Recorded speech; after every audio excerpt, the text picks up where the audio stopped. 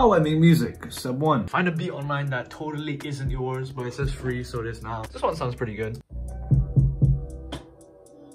Pretty good. Step two, go to your favorite third-party website where they convert YouTube to MP3 for free. There's a sick-ass website called TuneBat, and basically it kind of like finds the key and BPM of any single song of any file that you put on. So if you go on key and BPM finder and then drag this shit to select files, there you go. I've already downloaded the beat like about eight times, so you know it says in brackets two there. Don't worry, I'm not being hacked. And as you can see, it's an E minor with a BPM 118. Now, I use GarageBand here, so I'm gonna be dragging this all the way over and hopefully there. And what you had earlier, drag it to 118 hopefully. And change it to E minor Since I've already made some lyrics for this beat in particular, I shall just simply be rapping over them. But yeah, you can kind of see how that goes. I am trying to learn my own beats. I'm trying to learn. I'm trying to make my own beats, but for now, since, you know, I have a lot of other things to do, I will just keep ripping things off from online. And the songs that I make out of these beats, I wouldn't really call mine or like serious songs since, you know, they're not actually even fully mine. And I only do that until I actually make a beat of my own over here with this, or just with my piano here. Obviously, start speaking like this.